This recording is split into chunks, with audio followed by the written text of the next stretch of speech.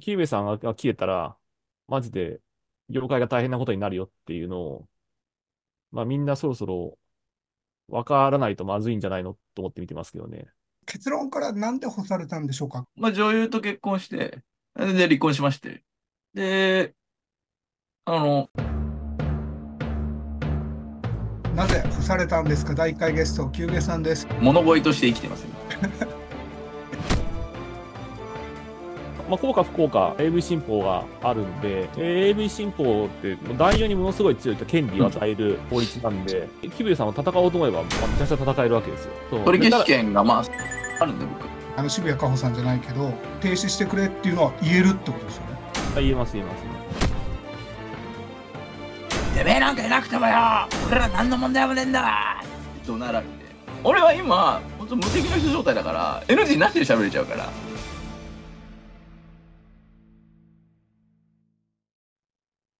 よいしょ。お忙しそうで、そのバタバタしてます。すいません、ちょっと。いえいえいえ、よろしくお願いしますお願いし。ます。お願いします。はい。はあというわけで、今日は、なぜほ干されたんですか？っていう新番組を なぜ干されたんですか？仕事なく、仕事辞めたんですか？じゃなくて。はい。なぜ？これ、これこれあれでしたっけ？これラライブでしたっけ？ライブじゃないです。あれですね。今回さっきも言ったんですけど、宇佐美さんがあんまり突っ込んでいいのかねっていう話をがありました。ちょっと業界業、業界が業界なだけに干されたキューベイさんどうですか？まあ、そうね。もともと黒いところだし。まあちょっと、なんかまこれ収録なんで、ガチなところはカットも P もできますので、あはいはいはい。はい、やっていけたらと思います。よろしくお願いしますお。願いします。はい、お願いします。宇佐美さん、僕も、あの、ま、あの、がんで、えーマンションのローンがなくなったんで、そのマンションを売ると、4000万円ぐらいが一応手元に入るんですよ。それを元にですね、僕もちょっと商売の方を始めようかなと思ってるんで、ちょっと餃子屋で大成功してる宇佐美さん、何か またご指導ごめんなさい。よろしくお願いします。大、大成功っていうほどじゃ全然まだまだ、ま、まだ始めたばっかりで。ちょっと僕、無職なんで、バイトで働かせてもらっていいですか？バイト、結構あれです、あの、えー、深夜始めるんで。あ、深夜営業なんですか？あ、いや全然。ま、ま、まだ、まだやってないんですけど、深夜始める予定なんで、あ、そうなんですかもしなんか、もしなんかその、はいニーズが合えばっていう感じで。はい。人手足りなかったらいつでも。で、でも、キューベイさん、嫌われてますけど大丈夫ですか？宇佐美さん。いやいや、あの、あれですよ。表に出なければ。全然何、何も関係、何も関係ないわけですから。そうですね。キューベイさん、裏で適当に餃子焼いといてください。適当に、適当にとか言わないでくださいよ。あ、ごめんなさい、ごめんなさい。うちのごめんな商品は。舐すいません。めてるな、本当に。ま本当に。坊主にしてください、坊主に。ちょっと。いやいやいや、僕、宇佐美さんみたいに頭の形、あの、整ってないんで、細長い系なんで、坊主マジに言わいない。やー、ちょっと本当、ダメだな、これは許しがたいものがい。や、ガチだ。宇佐美さん、あと、リハックおめでとうございます。あの、超有名ビジネス番組、リハックにし出られたということで。で、やっぱ、あれですよね。言うてやっぱリハックって、こう、う内輪の番組っていうか、そんなめっちゃ、なんかそう、オープンにいろんな人が見るっていう感じじゃなくて、な、なんかこう、ワイワイ感があって、まあ、アットホームでいいですよね。おー、気に入られたということで。いや、まあ、でもそんな、そんな出る、たくさん出ることないと思うんですけど、たまに呼ばれたら出ようかな、みたいな感じですけど。え、ピボットとかニュースピ、ニュースピックスとかも出てたんでしたっけ？僕ですか？僕ニュースピックス死ぬほど嫌いですからね。あんなんで嫌いなんですか？え、ニュースピックスですか？あー意識高い系です。だからですか？いや、まずね、なんか、あの、ニュースピックスってなんかもともとあれじゃないですか？ネットに転がってる記事の半分ぐらいこう乗っけて、意見募るみたいな感じで出てきたじゃないですか。そのくせなんか、俺たちは新しい携帯メディアみたいなこと言ってるから、お前らのやってることは、そのデパ地下の、その試食品を集めて品評会してるよようなもんだから、こんなゲスなことやってる奴らが、なんかこう新しい携帯メディアとか言うんじゃないよみたいな。やってること、やってること2ちゃ以下なんだから、2ちゃみたいな顔してよっていうのが僕の意見で。でちょ、ちょっと待ってください。宇佐美さん、もうニュースピックスやってる人なんて、もう友達の友達っていうか、もう身内なのに、なんでそんなに強く批判できるんですか、宇佐美さんは？全然、全然身内じゃないですよ、ニュースピックスやってる人なんて。いやいやいや、絶対もう狭いじゃないですか、SNS のせな世界なんて。だから僕昔からニュースピックス好きのことをずっと悪く悪く言ってんで、だからニュースピックス関連の人はよ僕のとこに寄ってこないようになってるんで、一番、一番嫌いなメディアですよ、ニュースピックスは。あ、あの、すごい大変申し訳ないんですけど、ニュースピックスって昔はなんかイケイケどんどんな感じありましたけど、今ははいそのピボットとかリハックとかベプラと違って、少し衰退してるっていうか、なんか停滞してるイメージがあるんですけど、あれはなんでだと思われますか？えそれは、それは、あの、書き手を大事にしないから、ああったんですよね。書き手？やっぱその、も、も、もともとその、ニュースピックスってなんか、何か記事があって、それを論評することで発展したんだから、もっとその、もともとの記事を書いてる人を大事にしなきゃいけないのに、そういうのをなんか、全然大事にしなかったから、別に愛愛されるメディアじゃない、ないわけで、集まってる人たちがワイワイややってりゃ、それはなんか、だんだんだんだんその、コンテンツを生み出す人に嫌われてきますからね。どっかで限界がきますよね。なるほど。でもリハックは高橋さんのあの愛されキャラとか巻き込み力で大きくなってる。リハクってそそんなでっかくないじゃないですか、別に。いやいや、すごい、すごい、すごいですよ。まあまあ、うんせ成成長してますけど、そんななんかこう、めっちゃその、全体を覆すみたいな、そういう取り組みじゃないと思うんで。いやいやいやいや、すごい番組ですよ。あんなに政治家集めて。はい。まあ、ちょっと前置きが長くなりましたが、一応、あの、西田さんと宇佐美さんが、あの、仲良く出られてたんで、全部見ちゃいましたよ。ね、キューベイさん。ねえ、うん、面白かったですよね。は いね、あれなんか、あれなんか4時間結構、長い、やってる方としては4 4時さすがに長いなと思ったんですけど、あー、4時間もしゃべ。西田さんと、あの、あず、あずま東さんね、あずまさんと、で、よ4時間やってたやつがあったんですけど、やってた方としてはもう、長いと思ってたんですけど、見てみると結構楽しいもんだなっていう、見る側に回ると。でも、あれもう終わったの1時ぐらいだから、帰りてえって感じ感じだったんだけど、最後の方は。いや、あれはさすがに僕もまだ1、2時間ぐらいまでしか見れてないです。えー4時間で のもので30万再生ってどういうことだよと思ってんだけど。すごいね。すごいよな。だらだらラジオ感覚で流してるんでしょうね、みんな。ああ、なんか、むしろ後半が面白いから、だらだら流したら後半が面白くなったみたいな評価があれ、結構あれですけどね。あ、そうなんだ。じゃあ後半見ます。はい。まあ、ちょっとすみません。前置き長くなりましたけど、今日の、えーなぜ干されたんですか？第1回ゲスト、キューベイさんです。よろしくお願いしますお。願いします。まず、どちらの業界の方でしょうか？あ、AV 業界の AV 男優やらせていただいております。はい。はい。しかも皆さん、この方、もう、いこういう言い方は悪いですけど、一軍っていうかもう、本当に新人さんだったり、あの、桜まなさんだったり、大体のフォロワー多い、フォロワー何十万人みたいなセクシー女優の方とも絡みがある、もうトップ前線で活躍されてた方ですよね。はい。いや、はいっていうのちょっとおこがましいけど。あの、これ P はい入れますけど、だって毎月ぐらいの月収があられたわけじゃないですか。まあまあごいそうですね。宇佐美さん、し知ってました？キューベさんの月収。いやいやいや、あの、噂、噂に知るぐらいですね。で、そこから今無職の0円。無職で、はい。はい。物乞いとして生きてます。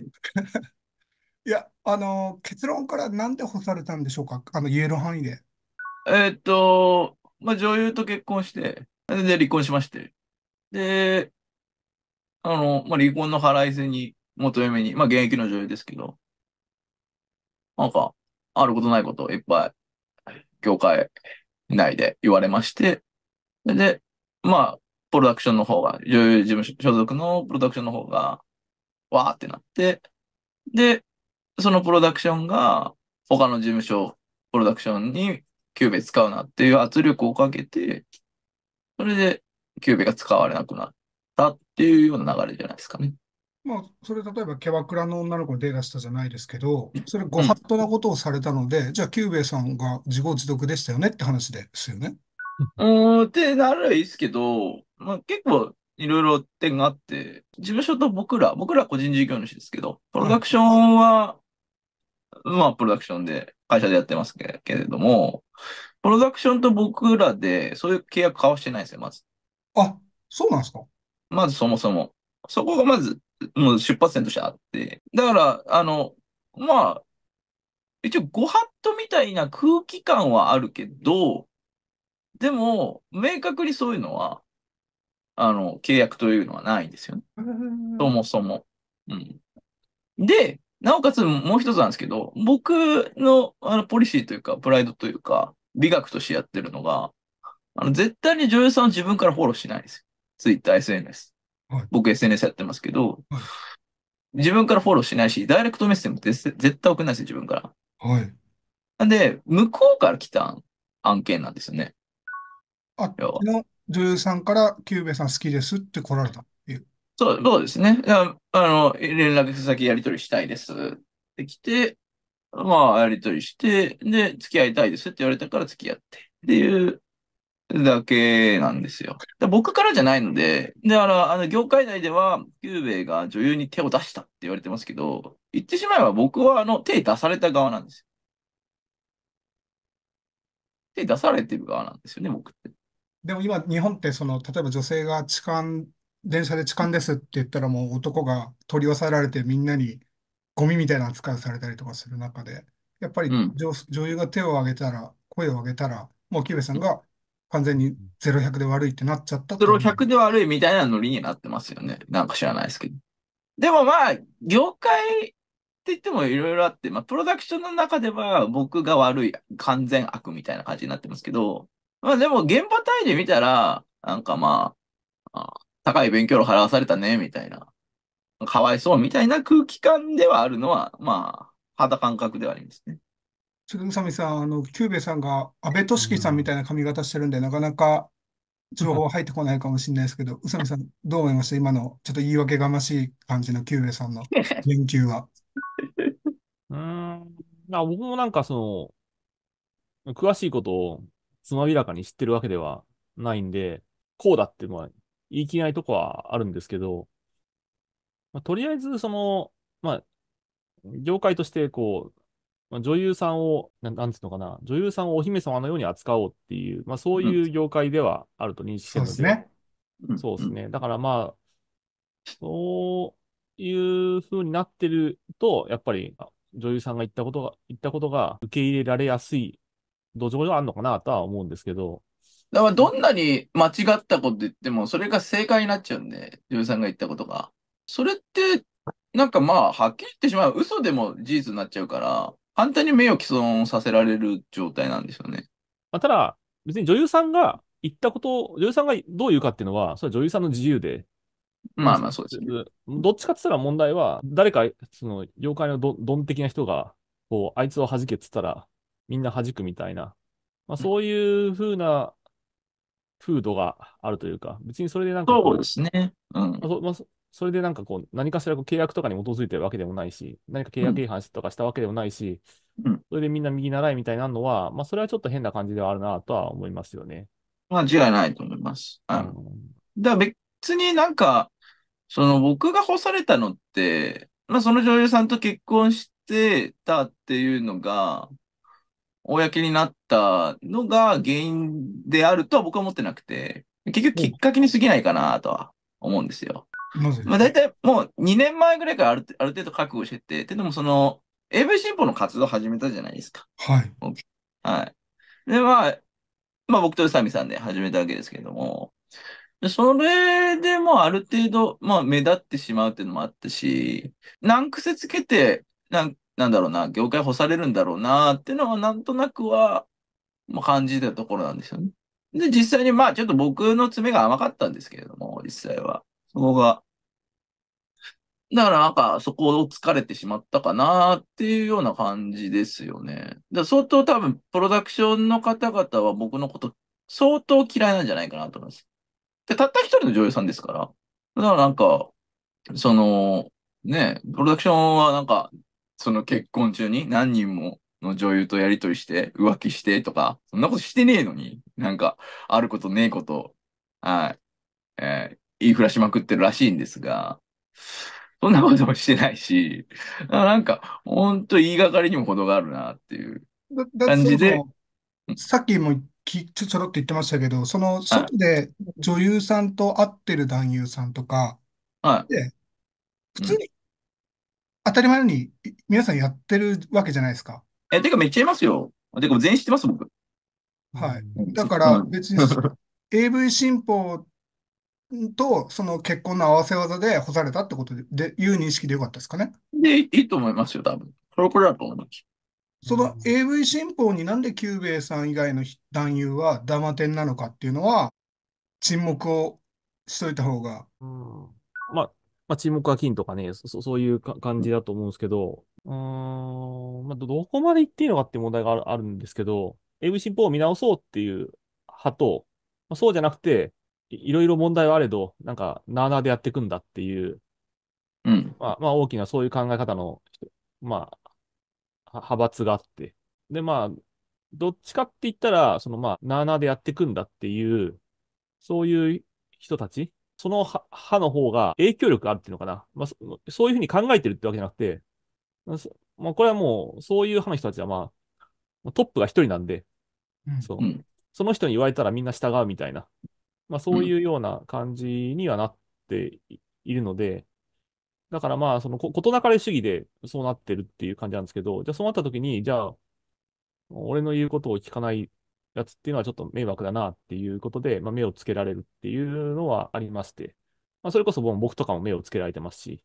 その、キューベさんも必然的に目をつけられていたんだろうなとは思いますよね。それと今回の話が、まあ、どの程度関係してるのかってちょっとわかんないんですけど、全く関係ないちょっといまま全く関係ないわけじゃない,、とは思います。うんはいなんかまあ異常ですもん、正直。まあ元嫁の所属のプロダクションだけが NG になる分にはわかりますけど、全部一斉に NG になるっていうのは、かなり前代未聞で、多分類にないんですよ。だ多分過去最速でこんだけ NG 数叩き出してるタイプなんですよ、僕って。これはかなり異異常な処置だなっていうのはなんか、まあ9年やってましたけども、まあ感じましたね。結構だからこれで問われるのは、まあ、キューベさんがどんだけ戦うつもりなのかっていうことで、幸か不幸か、まあ、AV 新法があるんで、AV 新法ってもう男優にものすごい強い権力は、権力と権利を与えるうんうん法律なんで、キューベさんを戦おうと思えば、まあ、めちゃくちゃ戦えるわけですよ。そうなんですよね。そう取り消しで権がまあ3000本もあるんで僕。はい。で、うん一方、一方で、まあ、その、プロダクション側というのは、まあ、その、旧来、旧来とか、まあずっとそうだったから、男優っていうのは、この、この業界において一番下だっていう、そういう認識のもとで、まあ、こういう圧力を。をかかけてきてて、それって本当にそのプロダクション側からしてうん、勝ち目、勝ち目あるんだっけって。キューベさん追いついたときに、キューベさん切れたら、みんな大変なことになるよっていううん。ことを覚悟してプロダクションの人はそれやったんだっけっていうのでうん、多分この業界ってこれからどうなっていくかっていうと、あの今まで適正 AV っていう枠組みがあったわけですけど、それがまあ崩れちゃったんで、じゃあ業界の新しいこうルールを作ろうってなったときに、誰が一番その権利を持ってるかって冷静に見たときに、男優なんですよね。メーカーよりも男優の方がけ権利を持ってるんで、冷静に見たときに。うん。だだ男優が、多分まあ、その、今後新しい枠組み作るときに、まあ、男優の集まりみたいなのが、多分一番うん作ったルールを守らせるっていう風になったときに、まあ、男優が一番強いっていう形になるんですよね。それってみんな気づいてるようで気づいてないから、そうですね。だいや、そうですよ。なんか本当にびっくりしました。僕、その事務所呼ばれた時、社長さんにいらっしゃったんですけど、来るな、嫌な。もういきなり、てめえなんかいなくてもよ俺ら何の問題もねえんだわって怒鳴られて、この人大丈夫かな本当に。と思いながら、なんか、いやいやしながらちょっと聞いてましたけど、それ。だから、分かってないのかもしれないですね。こういう状況であるという。え、じゃあ、え、でもさすがにさっき宇佐美さんの言った、俺3000本の権利あるから、俺の出演作作品、あの渋谷果歩さんじゃないけど、あの、停止してくれっていうのは言えるってことですよね？あ言えます、言えます、言えます。あ一回ちょっとなんか、その、なんつうか、ああ個別の話入り込みすぎると、すごい、すごい、こう、取り返しがつかなくなるから、はい。でもキューベさんにとって人生の決断だから、簡単に言えないから、うん。あ、の、まあ、ある程度、この全体こうですよってことをちゃんと整理ししながら言わなきゃいけないと思うんですけど、はい。あ、もともとやっぱこういう問題起きたっていうのは、なんか、業界のちゃんとこと調べずに、AV 新法をポンと作っちゃったから、うん。業界全体のバランスが崩れて、今まで一応、一応統治があったのに、それこそ適正 AV とか、枠組みとか、そういう統治があったのに、それが崩れちゃって、で、そうすると、今まで一応こう統制されていた、プロダクション協会とかが、もうなんかこう、プロダクションとかが、まあ、昔ながらに戻っていくというか、力の世界に戻っていくみたいな、まあ今そういう傾向だと思うんですけど、いろんなところですっちゃかめっちゃかが始まりつつあるっていう中で、まあうんこういう話があって、ど、どういうふうに集約させていくかっていう、落ち着きさせていくかっていうことを、まあ業界もそうだし、キューベさん個人もそうだし、うん。その辺のこう落ち着きどころを、その、見据えて行動し、するのか、それとも、もうぐらいた喧嘩買うので、買うので、ここで全部突っ込んでいくのかっていうのは、まあ選択肢どころですよね。そうですね。まあなんか正直悩んでます、悩んでましたけど、うーん、どうなんだろうね。なんか。これね、実はね、僕以外にも干された男優がいて、タイミングで。この、ぼ、僕と、僕と男優卒業同期が3人ぐらいいるんですよ。うん。もう一人はもう完全に辞めるって言って、まあもう資産形成もしてるんで、もう別に、うんもうファイヤーできる状態だから大丈夫みたいな感じですけど、でもその人もまあまあ売れてるし、で、僕より若い子も、まあそれで理由で干されちゃったんですよ。これっていうのは 3, 三人が結託したらもうやばいですよね、もうすえでに。、それっていうのは新法ってことですか？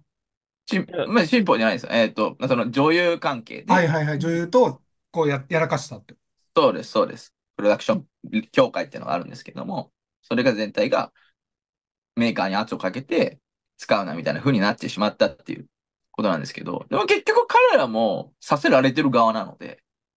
されてる側なので、手つけられた側なので、だからなんかそれってどうなの？正しくないよねっていう話で、なんで正しくないことを正義のように貫ける連中がいるのかなっていうのは僕は疑問でしょうかね。うんその、女優たちってことですよね？まあそうですよね。だ、だったら、そもそもですよ。なんか僕言われたんですよ。その、プロダクションに言われた時に、あの、返事返す方が悪いって言われたんですよ。はいはいはい返事する、DM 送る方が悪いやろ、みたいな。僕は手つけられてる側だろうっていうむ認識でしかないんで。まあそれも事務所さんにも伝えましたけども、なんか、えだったら、その、え男優として、その責任どうなんですかみたいなふうに言われたんですよ。じゃあ事務所として管理責任どうなんですかっていう話で、そもそもの話。女優の管理責任どうなんですかみたいな。まあこれで女女優さんって本来は、まあ個人事業主ですから管理するみたいな風になってくると、ここまたて法律でね、抵触するんじゃないかなって言われるところなんで、ちょっとなんかあんまり言えないでしょうけれども、まあ、えっ、と、何、職安法に引っかかるもんですから、事務所っていうのはそもそもの話、そもそもの話ね。そもそもまあアウトなんで、なんかアウトの人たちだと。あだからまあなんかそれをなんか、うん、なんだろうな、なんか無理やりご利用してるなっていう感じが、まあ僕は事務所に呼ばれて詰められた時には思いましたね。え普通にたさっきも言いましたけど、例えばじゃあ、水商売のキャバクラとかだったら、お互い罰金じゃないですか。キャスト側も、ボーイ側も。うん。なんで、筋が通すんであれば、女優さんも干されるべきですよね。てか、そうやってないですよ。てかまあ、そもそも別に、あの、キューベさんは雇雇われてないから、そのうん、なんつうかその、今のキャバクラ、キャバクラの話は、あの、店に両方とも雇われてるというか、契約してるという前提で話ですけど、キューベさんは別にそのプロダクションとは何も関係ないから、何も関係ない。うん別にただの紳士協定っていうかね、まあそういう世界で、別に何か、過去遡って別に女優と結婚してる男優ってたくさんいるいるわけで、うん。そうですね。うん別にまあ業界人で女優さんと結婚してる人はたくさんいるわけで、っていうかむしろそういう風な方が、まあ、長くやってりゃ自然なわけで、えーまあそそのこと自身で他の業界で比較するっていうもんじゃないとは思うんですけど、あまあ今、今現状こうなってでどうすんのっていうので、で、キューベイさんがが消えたら、マジで業界が大変なことになるよっていうのを、まあみんなそろそろわからないとまずいんじゃないのと思って見てますけどね。あの、キューベさん、みんな嫌われて干されたって言ってますけど、実際この間、キューベ飲み会みたいなことしたら、業界の人があそうですね。来てはい、店、秋葉原で、はい、イベントスペースでちょっとやらせてもらったんですけども。店すごいことになってたじゃないですか。めちゃくちゃ来てくれました。あれはみんな応援してくれてるってことなんですか、キューベさん。そうですね。はい。な、なんか、その、プロダクショ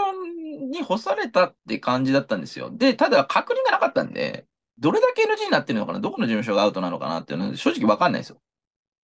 だから、ううちはあなた NG しますよっていう通達ないから、これもなんか非常識だなって僕は思うんですけども、で、それでちょっといろいろ確認してったら、どうやら全部ではないんですよ。どうやら。うん。だから、プロダクション協会って名を打ってるんですけども、第一プロダクション協会って JPJ ってあるんですけども、その協会って名を打ってますけど、まあまあ、しなみ揃ってるわけじゃないんだろうなっていうのはなんとなくは、うん、感じましたね。なんか、その一部、その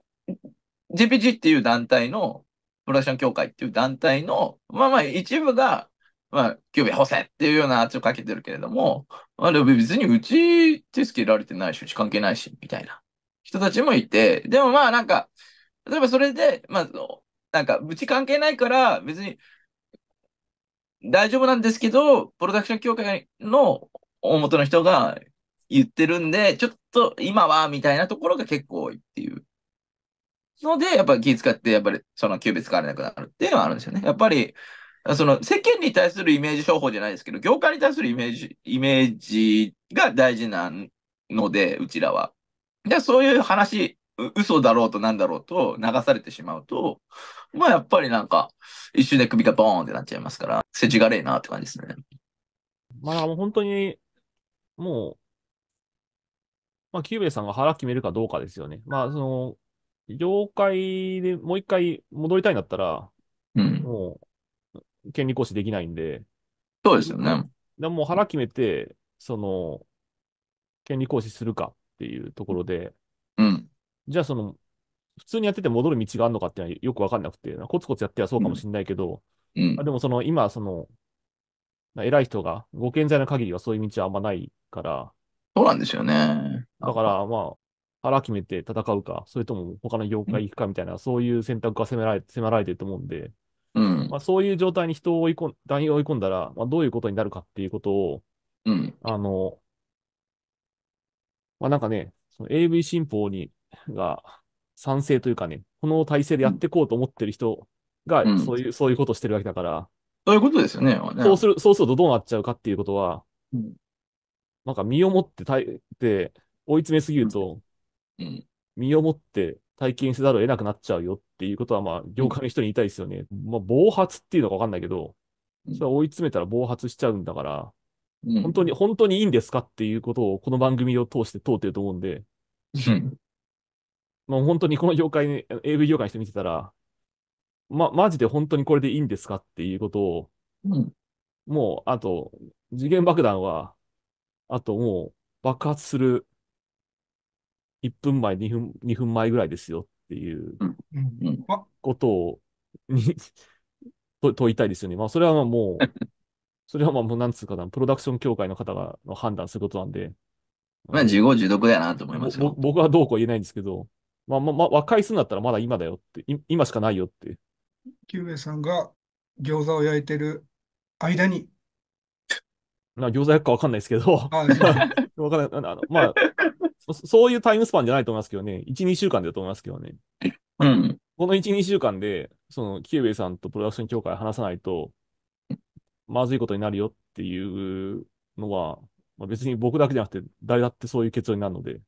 まあ、5月中ですね。うん。意思決ちゃんと。定ですかうん。いや、なんか、正直、いや、僕からの確認がないっていう時点で、まずそもそもおかしいじゃないですか。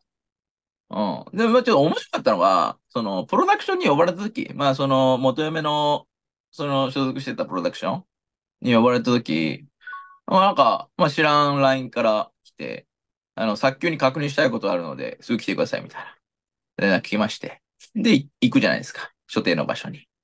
何か言いたいことはありますかって言われたんですよ。はぁと思って。もうびっくりしちゃって。本当に。え、確認したいことがあるの？そちらさんの方でしょ？みたい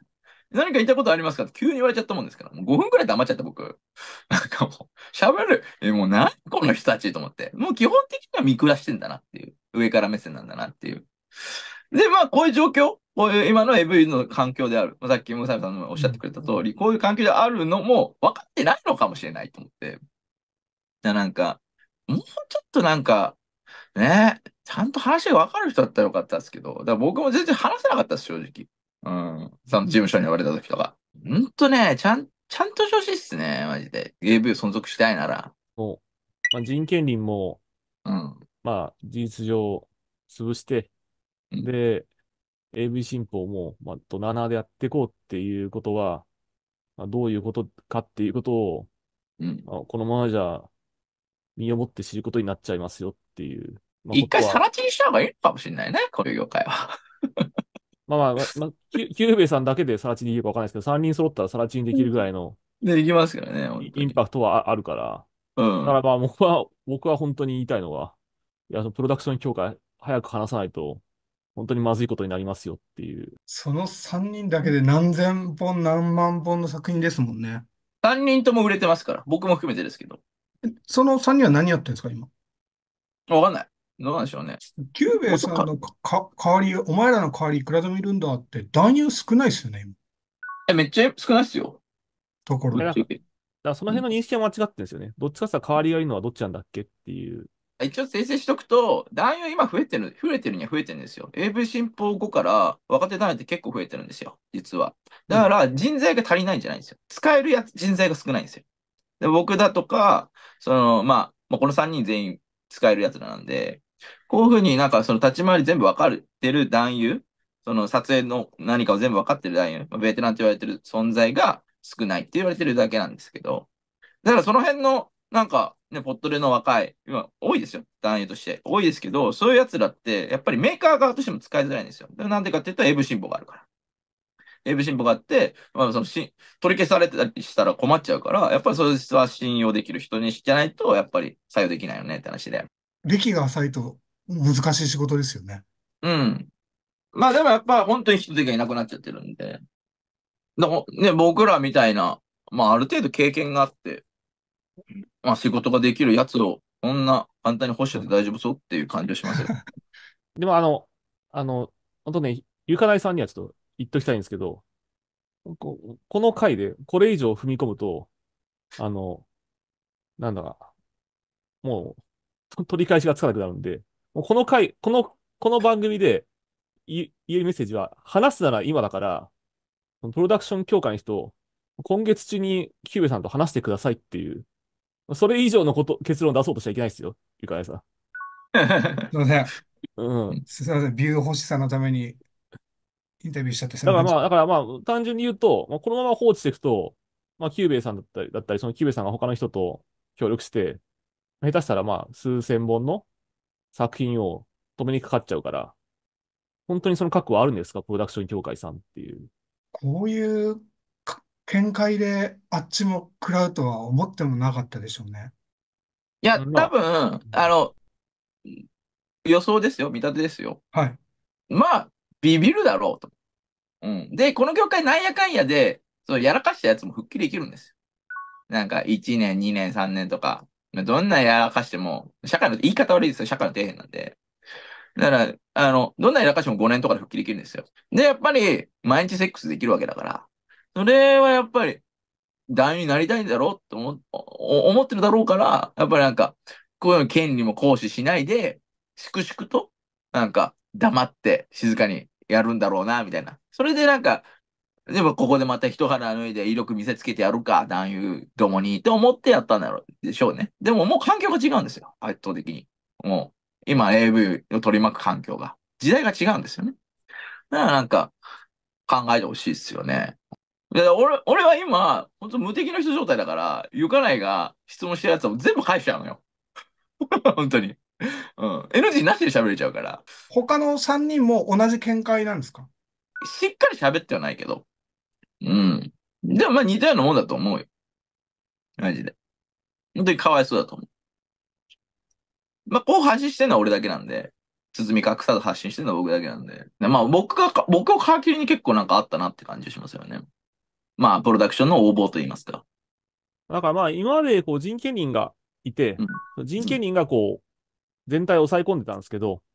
まあ、AV 新法っていうものを機に、まあ、人権輪がちょっとなんか、うまく機能しなくなっちゃって、でそうなると、その、今まで、まあ一応、その、人権利のもとに秩序があったわけですけど、それが崩れたときに、みんなが好き勝手なことをするようにななってて、そういう中で、恫喝みたいなことが、キューベさんに対する恫喝干すみたいなことがあるみたいな、あったみたいな。キューベさん他3人ぐらいですか？っていうのが、まあ今、業界の現状で、で、今はもう、新しい、こう、業界秩序のシステムっていうのが出来上がってないですから、もう、まあ、もう時間の問題ですよね。キューベイさんが、なんかこう、爆発するのは。今、話すんだったら今だよって。話さんやったら、まあ、見ての通り爆発しますよっていう、いうことですよ、ね、でもなんか、まあ、ぶっちゃけると悔しいですよ。だって、AV 新法を止めるために僕活動してたのに、まあ、使っちゃうなんてねって話で。悔しいです。え、別に AV 新法がいきなりできておかしくて、まあ、ちゃんと人権利とかの話ベースに物事を作っていこうって言ってたわけですから、まあ、それを壊したのはプロダクション協会協会とか、まあ、そういう方ですから、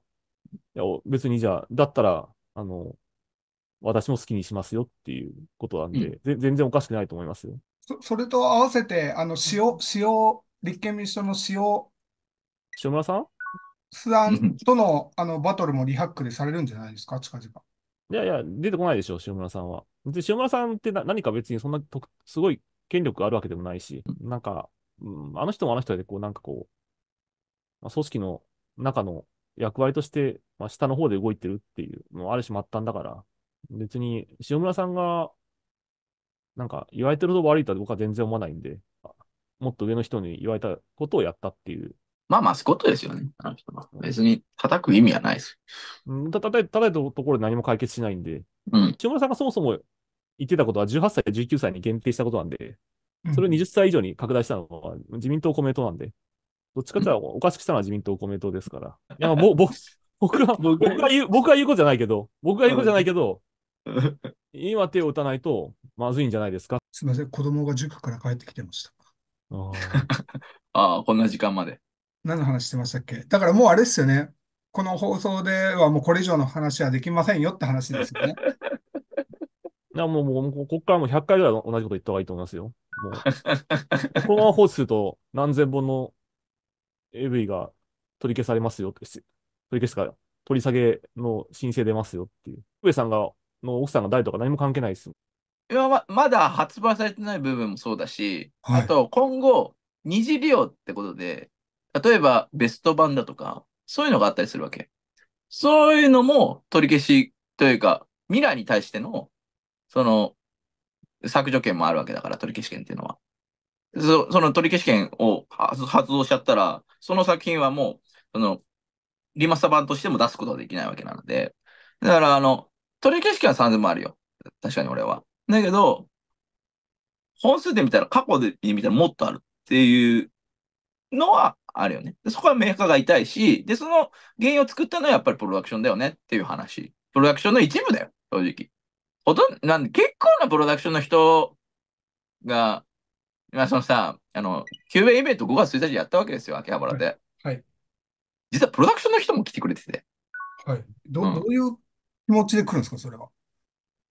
うちは NG しないっす、みたいな。うん。何も関係ないし、うん。っていうのをおっしゃってくれてて、だから、味方の方も結構いらっしゃるんですよ。だから本当一部、一部の権力持ったやつが、なんか、はいはいおいって感じなので、それはどうなのかなっていうような感じを僕はしますよ。今、すごい口悪いから、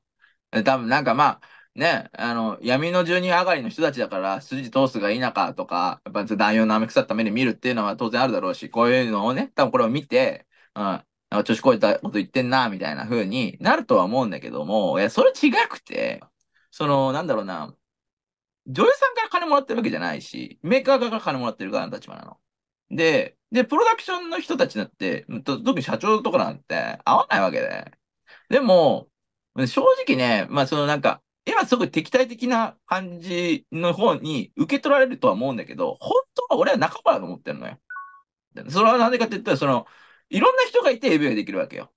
で、その、まあその、なんだろう、現場に行く我々みたいなのもそうだし、演者としてそうだし、まあ、男優上映もそうだし、カメラ持ってる人、照明持ってる人、編集する人、監督、で、販売元を出す、まあメーカーの人もいれば、もちろん当然その、抱えている女優さんのお世話する、マネジメントをするっていう事務所もあるわけ。これはやっぱり AV というものを作る上では、やっぱ欠かせないものの存在の一つなんですよ。間違いなく。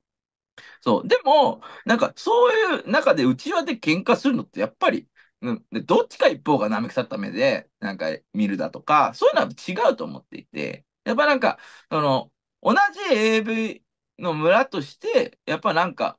俺は本来、その、仲良くしていきたかったんだよ。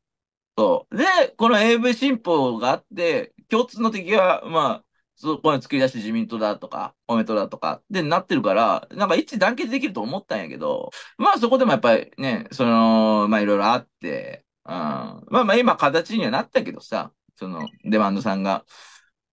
その、街頭でさ、やるとかいろいろやってくださったけども、でもまあ、それでも時間があったし、で、やっぱまあ、俺のこの、今回の件があって、まあそう、まあ昔からの流れで結局そういうふうにやるみたいな、潰すみたいな、男優一人潰すみたいな、一人いなくなったところでみたいな。それやっぱなんか、それちょっと違うんじゃねえかな、みたいな。だからなんか、ちゃんと話し合えば、もっとなんか仲良くできるんじゃねえかなと俺は思うんですよね。まあ、俺こういう性格だからさ、まあ、今は全然 SNS でつぶやかないけど、やっぱなんか嫌われがちというか、うん俺と、俺と会ったことない業界の人って俺のこと嫌いな傾向があるんですよ。なんか知らないけど。うん。でもなんか、測ってくださった人たちとはすごい仲良くさせてもらってるし。で、まあ俺干された時やっぱり SNS めちゃくちゃ書かれたのよ。なんか、丸々、丸べっていう、もうほぼ俺の名前を。うん、丸べっていうクズが、みたいな感じで。もうちょっと話したいというか、コミュニまあ、ケーション。まあ、まあでもなんか、いや、AV 新法と共に生きるっていうのは、今うん今の、今のままの AV 新法と共に生きるっていうのは、こういうことですよっていうことを世に示すことは別にキューベイさんのこれまでの主張と何も反さないんで、うん本当にこの法律と一緒に生きるんですかっていうことを、まあ、示すことにもなるんで、たただ今いきなりこうするとビビっちゃうから、うん。このまま、このままだったら行使しますよっていうことを、まあ言った上でうん、行使する分には別に、今までの行動と何も矛盾しないんで、まあ一回、プロダクション協会の人は話に来た方がいいんじゃないですかってうんいうのがね、もう僕の、あの、おすすめですよね。まあ、ツイッター DM 開けてるんで、いつでもって感じですわ。なんかえすごい微妙な空気になりそうですよね。それはそれでまた。いや、び微妙な声人が関係ないですよね。だって、ほ、本当にだって、そ、それどこ、そんなことを言っ空気とか言ってられる問題じゃないんだから。うん。銃突きつけられて空気が悪いとか言ったら、それは銃突きつけてるのが当たり前でしょって話だから。うん。そうなんですよね。そうえ全然関係ないですけど、宇佐美さん、無職になったことあります？あるある。ど、どうしてました？無職になった時。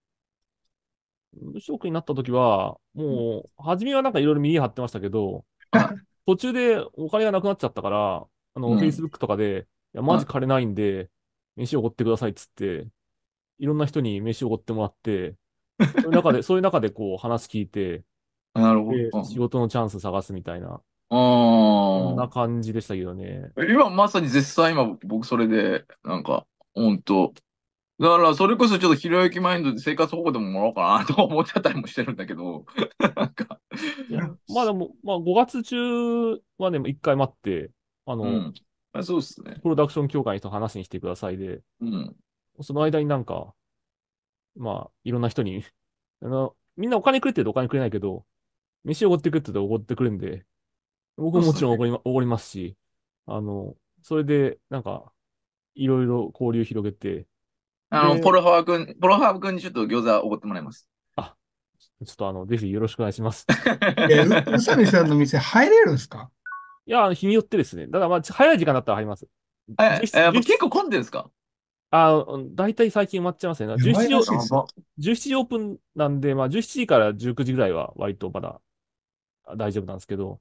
それ以降え、は、なんか、す、すすごい申し訳ないですけど、餃、餃子ですもんね。な、なん、何がそんなにすごいんだろいや、美味しい餃子のフランチャイズみたいな。